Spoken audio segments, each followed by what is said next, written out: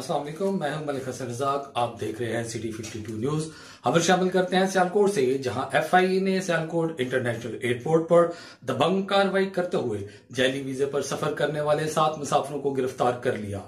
FIA की report के मुताबिक सात मुलजमान एजेंट मोहम्मद कासम जेहलम और तहसील चढ़ाई जिला कोटली से ताल्लुक रखने वाले मुसाफिर काशम काशिफ अली, वल्द मोहम्मद काशिफ, वजरिया एजेंट दानियाल कासिम, मुसाफर मोहम्मद उस्मान यूनस, वल्द मोहम्मद यूनस, एजेंट दानियाल कासिम, वल्द मोहम्मद कासिम सकना डोक अब्दुल्ला, हमजा चौधरी, वल्द नाजम हुसैन सकना भवल्ला बगला समहानी, एजेंट मोहम्मद कासम, अफजल अमजद, वल्द अमजद सकना मसूमपुर सराय आलमगीर। एजेंट मोहम्मद कासम मुसाफिरों को जैली वीजे पर तुर्की भेज रहा था कि एफआईए ने बर वक्त दबंग कार्रवाई करते हुए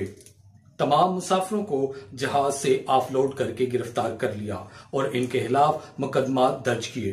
एफआईए के मुताबिक एजेंट मोहम्मद कासम और दानियाल कासम के खिलाफ जैली वीजों पर मुसाफिरों को तुर्की भेजने पर मुकदमा दर्ज कर लिया गया है। आ गया है रमज़ान है। आ गया रमज़ान आ गया रमज़ान है आ गया रमज़ान